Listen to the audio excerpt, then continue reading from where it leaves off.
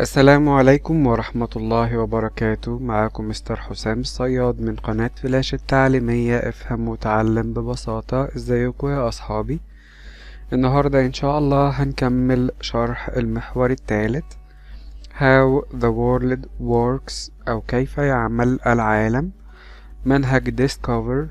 اكتشف Primary 1 أو الصف الأول الابتدائي. How goods are made around the world أو كيف تصنع البضائع حول العالم. كنا شرحنا الدرس اللي فات حتى نهاية page 6 أو صفحة 6 والنهاردة ده تاني درس لشرح discover. وهنبدأ شرح page 7 أو صفحة 7 وزي ما إحنا متعودين يكون معانا الكتاب وقلم ولو مش معانا الكتاب يكون معانا الكشكول بتاعنا اللي بنذاكر منه ونكتب فيه ملاحظاتنا. ويلا نبدأ. بسم الله الرحمن الرحيم. عنوان page 7 how a pencil is made. How يعني كيف a pencil القلم الرصاص is made. صنع. made يعني صنع وده الماضي بتاع make يعني يصنع. فهو هنا بيسألنا القلم الرصاص اتصنع إزاي؟ كيف تم صنعه؟ وال directions بتاعت ال page دي بتقول draw ارسم a line خط from each picture من كل صورة to the correct number للرقم الصحيح. to put the steps يعني لتضع الخطوات of making a pencil in order لصنع القلم الرصاص in order يعني بالترتيب. والكلمات الجديدة هنا draw ارسم طبعا إحنا عارفينها. align يعني خط from من each picture كل صورة. to the correct correct يعني صحيح. number الرقم الصحيح. to put لتضع the steps the steps الخطوات. of making لصنع a pencil القلم الرصاص in order بالترتيب. وزي ما إحنا شايفين هنا هو مدينا four numbers أو أربع أرقام. One two three four. وأربع صور. فبيقول لنا رتب الصور دي بتاعة صنع القلم الرصاص بالترتيب الصحيح. والمفروض إن إحنا نوصل كل صورة برقمها في الترتيب الصحيح بتاع الصنع بتاع القلم الرصاص. فأول حاجة المفروض القلم رصاص بيتصنع طبعا زي ما إحنا عرفنا المرة اللي فاتت من ال wood أو الخشب والجرافيت أو الجرافيت طبعا اللي إحنا عرفناه قبل كده اللي هو اللي هو نوع من أنواع الكربون طبعا اللي بيستخرج من المناجم بتاعة باطن الأرض وال rubber ال rubber أو المطاط. فالمفروض إن إحنا أول صورة هنا رقم واحد اللي هي بتاعة الخطوة الأولانية. هل يا ترى هي استخراج الجرافيت من المنجم بتاع باطن الأرض؟ ولا هي القلم الرصاص في شكله النهائي؟ ولا هي الصورة بتاعة الجرافيت لما جمعنا الجرافيت وجبناه وجمعنا ال wood وجبناه وجمعنا ال rubber أو المطاط وجبناه؟ ولا هي الصورة بتاعة المصنع اللي بيتم فيه تجميع الحاجات دي مع بعض علشان يطلع لنا القلم الرصاص؟ شاطرين. أول صورة اللي هي الصورة بتاعة المنجم اللي بنخرج منه الجرافيت علشان خاطر نستخدمه في صنع القلم الرصاص. فدي صورة رقم واحد فهنوصلها ب number one طب بعد ما طلعنا الجرافيت من المنجم بتاع باطن الأرض المفروض إن إحنا بنحطه مع المواد التانية علشان خاطر نقدر نوديهم المصنع علشان يصنع لنا القلم الرصاص. ففين الخطوة رقم اتنين اللي فيها المواد كلها مجتمعة قبل ما تروح المصنع هنا يا أصحابي. شاطرين دي الصورة number two أو ال step number two الخطوة رقم اتنين. فنوصلها ب number two هنا لأن إحنا هنا فعلا جمعنا ال wood والجرافيت وال rubber اللي بنستخدمهم في صنع القلم الرصاص. فهنوصلها برقم اتنين ودي step number two أو خطوة رقم اتنين. طب إيه هي تالت خطوة يا أصحابي؟ تصنيع القلم رصاص ولا القلم رصاص في شكله النهائي بقى اللي إحنا بنستخدمه بيه؟ شاطرين هي تصنيع القلم الرصاص في ال factory أو في المصنع فالمفروض هن هنوصل الصورة دي ب number 3 لأن دي هي step number 3 وكده آه ناقص صورة واحدة اللي هي step number four أو الخطوة الرابعة. شاطرين هي الصورة دي اللي هي الصورة بتاعة القلم الرصاص في شكله النهائي بعد ما تصنع من المواد بتاعة تصنيعه كلها. ودي step number four أو الخطوة الرابعة.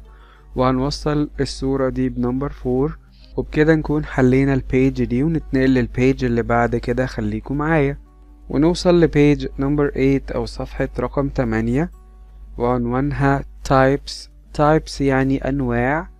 of goods of goods يعني البضائع goods يعني بضائع types of goods يعني أنواع البضائع types of goods والdirections بتاعتها بتقول write write يعني اكتب each item each item يعني كل عنصر from the list on the board من الليستة أو من القائمة اللي موجودة على البورد على السبورة under the correct type تحت النوع الصحيح of good للبضائع والمفروض هنا المستر بتاعكو أو المس بتاعتكو هتكتب لكم مجموعة من ال goods أو من البضائع على ال board في ال classroom على السبورة في الفصل. آه هنقول مثلا البضائع دي هي shirt shirt يعني قميص trouser trouser يعني بنطلون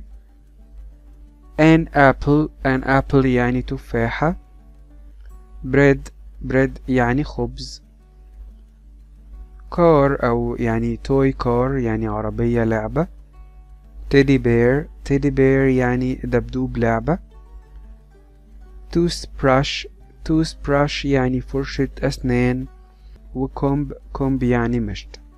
دي المفروض مجموعة بضائع هتكتبها المدرس أو المدرسة على ال board في ال class على السبورة في في الفصل وإحنا هنقسمها علشان نتعلم إزاي نقسم الحاجات وإزاي نصنفها المجموعات بإن إحنا هناخد كل آه حاجة من الحاجات دي وهنحطها تحت النوع الصحيح بتاع البضاعة بتاعتها.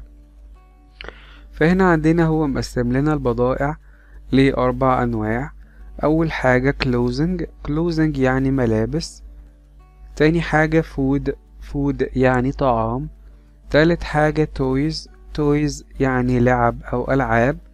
ورابع حاجة hygiene.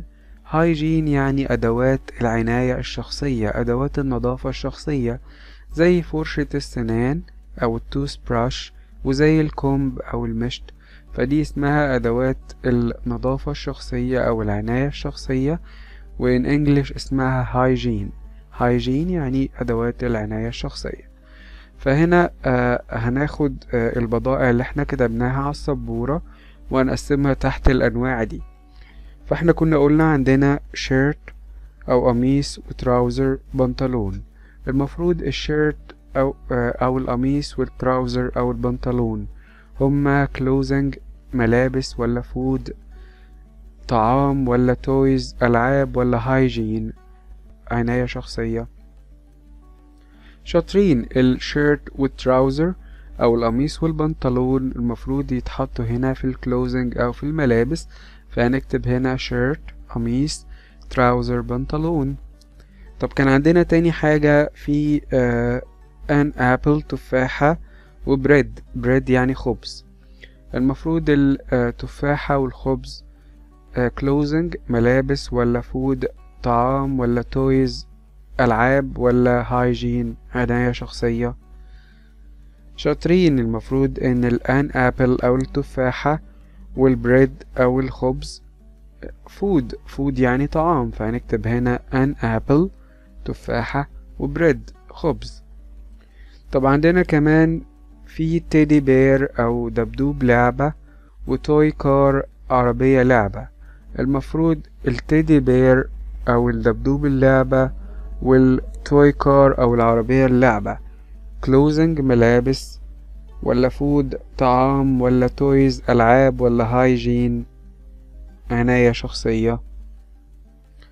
شاطرين. toys. toys ألعاب. فهنكتب هنا teddy bear وهنكتب هنا toy car أو car. وآخر حاجة عندنا toothbrush toothbrush يعني فرشة سنان و comb comb يعني مشط. المفروض إن آه، فرشة السنان والمشط clothing ملابس ولا food طعام ولا toys ألعاب ولا hygiene عناية شخصية.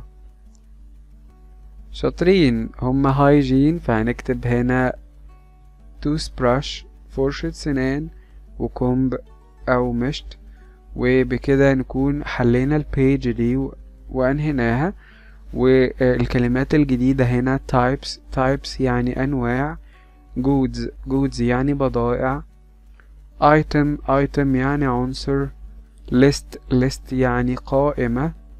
Board board يعني لوحة أو سبورة under يعني تحت the correct الصحيح type النوع of good البضاعة.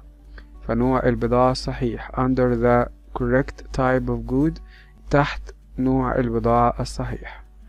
ونتنقل لل page اللي بعد كده خليكم معايا. ونتنقل ل page number 9 أو صفحة رقم تسعة وهنا لسه هو بيعلمنا إزاي نعمل sorting أو نعمل تصنيف ونقسم الحاجات لمجموعات على حسب نوع البضاعة أو على حسب استخدامها أو على حسب حتى المواد اللي هي اتصنعت منها. فإحنا لسه بنتكلم عن البضائع والمرة دي هنتكلم عن الأماكن اللي بنشتري البضائع دي منها. فطبعا كل حاجة ليها المكان اللي إحنا بنشتريه منه.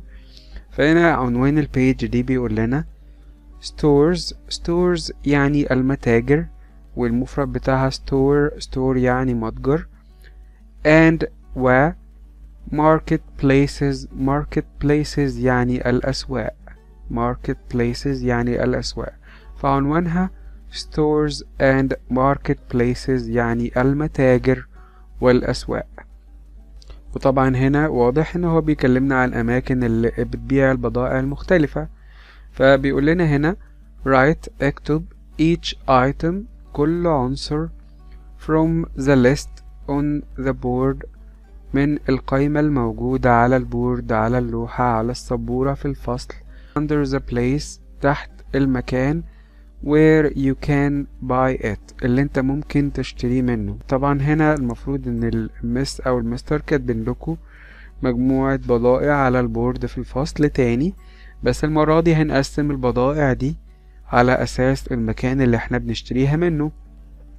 فإحنا مثلا لو عندنا apples apples يعني تفاح و cheese cheese يعني جبنة و toothbrush toothbrush يعني فرشة سنان. وعندنا book book يعني كتاب. وعندنا story story يعني قصة. وعندنا bread bread يعني خبز. وعندنا shirt shirt يعني قميص. المفروض الكلام ده يبقى مكتوب على ال board في ال classroom أو في آه الفصل. فإحنا عندنا الكلمات دي أو البضائع دي عايزين نقسمها على أساس المكان اللي إحنا ممكن نكون بنشتريها منه. فالأماكن هنا هي grocery store. Grocery store يعني البقال أو البقالة مكان البقالة. Pharmacy. Pharmacy يعني الصيدلية. Book store. Book store يعني المكتبة مكان بيع الكتب. وماركت. ماركت يعني السوق. فعندنا هنا أربع أماكن. فالمفروض إن إحنا نقسم البضائع اللي إحنا قلنا عليها من شوية على الأماكن دي. على حسب كل بضاعة بنشتريها من المكان الخاص بيها. فلو قلنا مثلا قدامنا apples و cheese apples يعني تفاح و cheese وجبنة. المفروض إن إحنا بنشتريها من ال grocery store أو من محل البقالة الكبير ده ولا من ال pharmacy ال pharmacy أو الصيدلية ولا من ال bookstore ال bookstore أو آه محل الكتب المكتبة. ولا من ال market ال market السوق؟ شاطرين إحنا ممكن نشتريها من ال grocery store أو من محل البقالة ده. زي ما إحنا شايفين في أرفف فيها فواكه وفي أرفف فيها أنواع مختلفة من الجبنة. فهنكتب هنا apples وهنكتب هنا cheese ونشوف عندنا إيه تاني؟ موجود عندنا هنا toothbrush toothbrush مفروض إن إحنا بنشتريها من ال grocery store ولا من ال pharmacy ولا من ال bookstore ولا من ال market. toothbrush اللي هي فرشة السنان بنشتريها منين يا أصحابي؟ شاطرين بنشتريها من ال pharmacy أو من الصيدلية فهنكتب هنا toothbrush طب عندنا هنا كمان في book وعندنا في story book يعني كتاب و story يعني قصة. المفروض إن الكتاب والقصة إحنا بنشتريهم من ال grocery store ولا من ال pharmacy ولا من ال bookstore ولا من ال market. شاطرين بنشتريهم من ال bookstore أو من محل بيع الكتب من المكتبة. فهنكتب هنا book وهنكتب هنا story والمفروض عندنا كمان في shirt أو قميص وفي bread أو خبز. المفروض إن ال shirt وال bread ممكن نكون بنشتريهم من ال grocery store ولا من ال pharmacy ولا من ال bookstore ولا من ال market شاطرين ممكن نشتريهم من ال market فهنكتب هنا shirt أو قميص وهنكتب هنا كمان bread أو خبز. وبكده نكون أنهينا ال page دي. والكلمات الجديدة هنا stores stores يعني متاجر market places يعني أسواق. Write اكتب each item كل عنصر from the list من القائمة on the board على على اللوحة على السبورة. Under the place where you can buy it. تحت المكان you can buy it اللي انت ممكن تشتريها منه. Grocery store يعني البقال أو محل البقالة. Pharmacy pharmacy يعني الصيدلية. Book store book store يعني يعني محل بيع الكتب يعني المكتبة. market market يعني السوق. ونتنقل للبيج اللي بعد كده. خليكم معايا. ونوصل لبيج نمبر 10 أو صفحة رقم عشرة. وقبل ما أشرح الجزء ده أحب أفكرك وأقولك إنك تشترك في القناة وتفعل جرس الإشعارات علشان يوصلك كل جديد ونتابع مع بعض أول بأول. وزي ما عرفتكم قبل كده في خصم حصري عاملاه موقع جوميا لمشتركي قناة فلاش التعليمية وهو بيصل إلى خمسين في المية على بعض المنتجات. لو حابين تستفيدوا بالخصم ده تقدروا تدخلوا عن طريق اللينكات اللي أنا سايبها لكم في الوصف أو في الديسكريبشن أسفل الفيديو. ونرجع ل page number 10 أو صفحة رقم عشرة وعنوانها my daily need. My يعني ملكي daily يعني يومي. Need يعني احتياجاتي أو حاجتي اليومية. فأنا بيكلمك إحنا عرفنا في الدرس اللي فات الفرق بين الوونت والنيد أو بين الحاجة والرغبة. وعرفنا إن النيد هي حاجة مهمة جدا حياتك بتتوقف عليها. بينما الوونت زي ما قلنا هي رغبة أنت حاجة أنت عايزها بس هي مش هتأثر على حياتك بشكل كبير. فهنا بيقولك انت بيسألك عن daily need أو حاجة يومية انت بتحتاجها كل يوم. My daily need يعني حاجتي اليومية. Fill in the blanks. Fill يعني املأ in the blanks. في الفراغات blanks يعني فراغات. To show لتعرض. Your learning. Your learning يعني تعلمك. Learning تعلم. فبيقولك هنا one يعني واحد good بضاعة واحدة that I use every day. أنا بستخدمها. I use every day كل يوم is. إيه هي الحاجة اللي أنت ممكن بتستخدمها كل يوم؟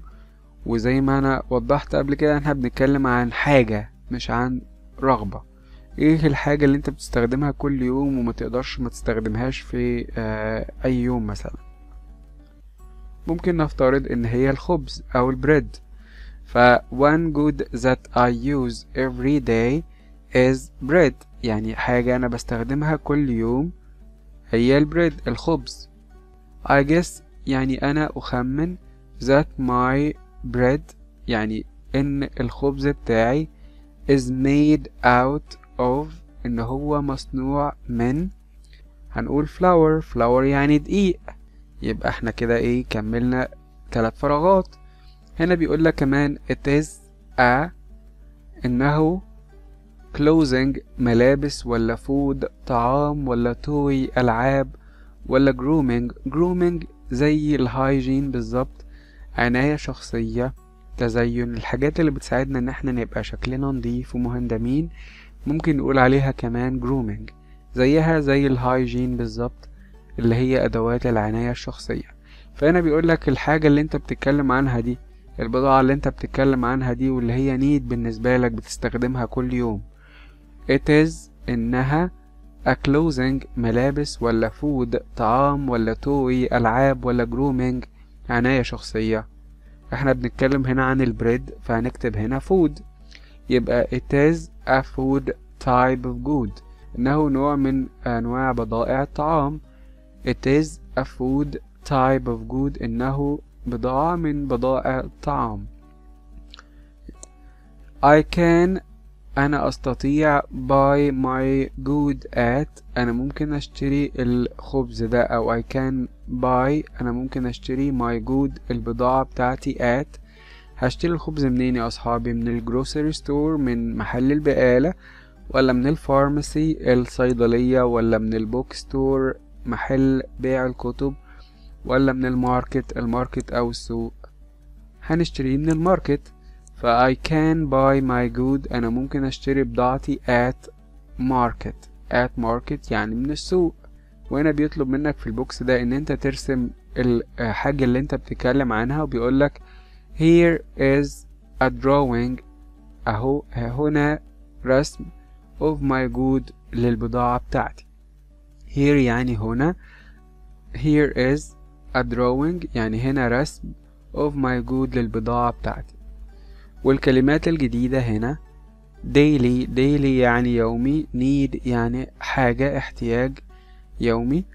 fill املأ blanks blanks يعني فراغات show اعرض.